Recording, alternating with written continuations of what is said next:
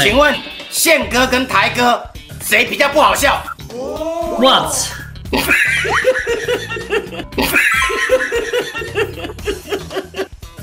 我喝了，我喝了。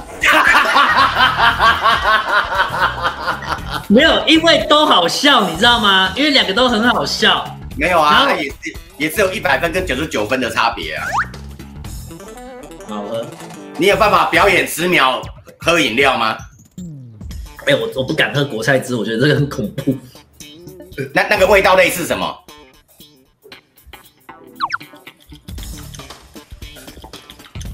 你是鸡哦，你在喂鸡哦。我 其实不太敢喝国菜汁哦。哎、不过硬要讲，我是觉得现在我觉得那、你刚刚讲讲就好，你现在喝完了又要讲。因为因为因为我觉得不同类型，因为我觉得宪哥就是无敌，就是他所有的梗他都一直在学习，不管是新梗啊、老梗，他都全部他都懂。然后我这个我觉得非常的佩服。台哥最近很屌，是他搜刮了一群就是像我们这种年纪的，就是网络上的这些呃网友们，很吃他那一套，所以我觉得这个我跟你讲啊，老艺人都会这一套哦。嗯这个叫做什么？你知道吗？这属于黑黑魔法系列哦。这个叫做吸金大法，乾坤大挪移，借力使力啊！对啊，就是吸年轻人的精气神，有没有？然后吸过来。我上一次看到有艺人使用这个吸星大法的对人，就是玉林哥。我我吸谁的精？没有啦，我的意思是说，虏获一大堆年轻人这种新的，就是你了。后来对后来你比较不鸟我啦，原因我有反省过，因为你认识宪哥跟台哥了。不是吗，没有，我跟你讲啦，刚刚那个问题哦，宪哥跟台哥对啦，你讲对了，他们不同风格啦。宪哥比较属于即兴派的啦，那台哥一路的成长过程里面呢，他比较 for 演啊，就是就是演呐、所以他演很厉害，他演很到位，很传神。那包含他在录录这个实境的节目里面呢，他会把这个表演的风格带进去啦。对啊那对那所以呢，你就会觉得他的笑点很精准。帮我说不要讲话，后面不要喧哗。我投诉啊！我投诉。那如果哈、只能选一个节目主持，木曜跟玩很大，你只能选一个哦，嗯，你会选哪一个？哎，我是真的是不想再喝一瓶了，好饱、哦。我这题目真的太热炒了。而且好我会靠死回答哦，别忘了不红十年这个诅咒哦。好，我必须真的认真选，是我要选王很大。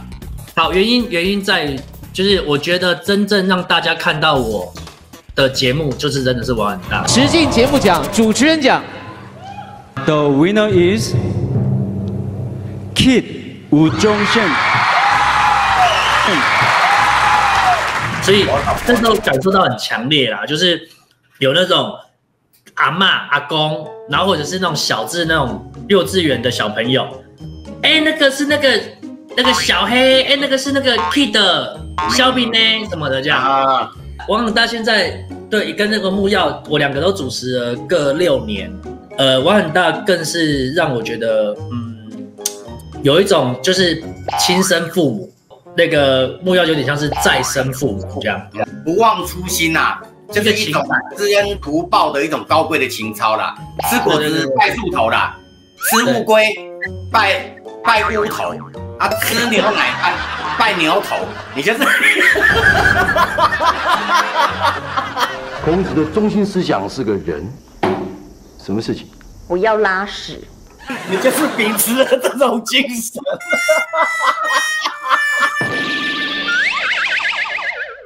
我节目要找一个主持搭档哦，主持的新节目啦哈。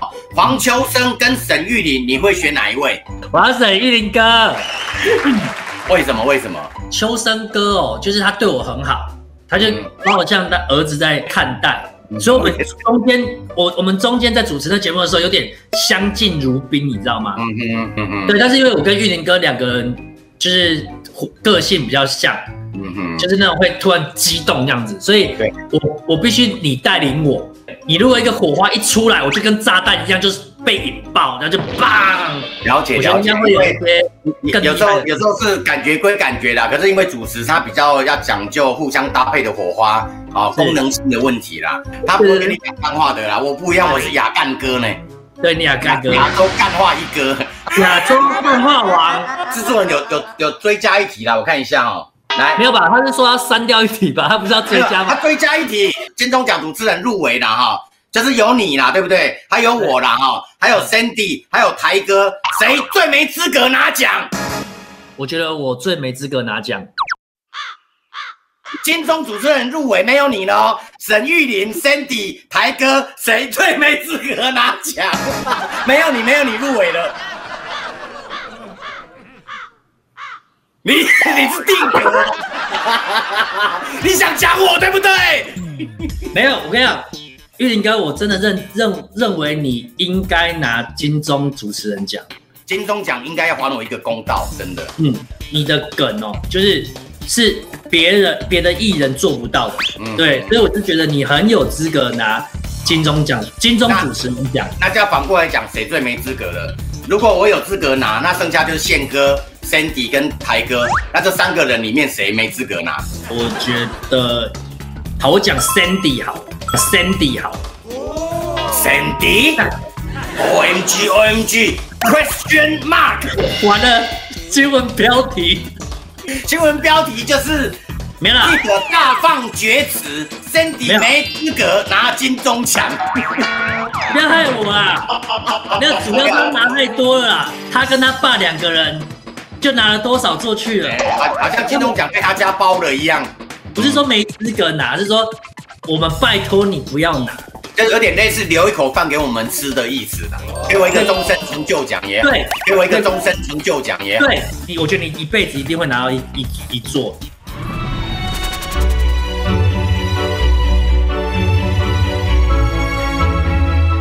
它这个是连环题啦哈。第一，为什么会解散？第二，这个是你最 谁和谁最合不来？好，为什么这样？那个只会解散原因就是因为钱，因为你们都欠掉人帅钱，我那时候欠掉是一百万呐、怎么怎么怎么欠的？为什么会会欠到一百万？我很想工作，可是因为为了团体，我必须要跟着他们一起做团体应该要做的事情，所以我没有办法去外面打工，家里也没办法养我的状况下，我只我就只能跟他们借钱。然后我家里的经济状况也不是很好，所以有一天我就决定说，哎，我们不要再做 circus 了。那你分手是你提的，是你先提的。也不是啊，就那那时候大家其实四个人都已经有点破碎，也没有事情让我们做。嗯，那我们不能每天都待在家里，然后没事干嘛？那这样子言下之意，那最的我就帮你回答，那一定就是廖仁帅的啦。当下最的真的算是廖仁帅啊，那现在呢？事过境迁以后，回想起来，觉得医生更讨厌。当下啦，现在觉得呢？因为已经经过那么多年了嘛。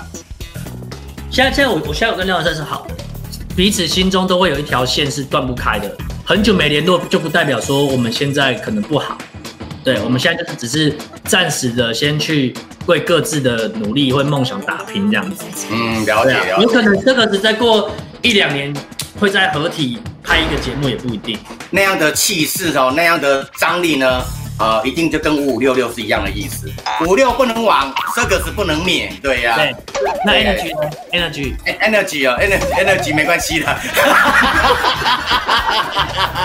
你真的很厉害。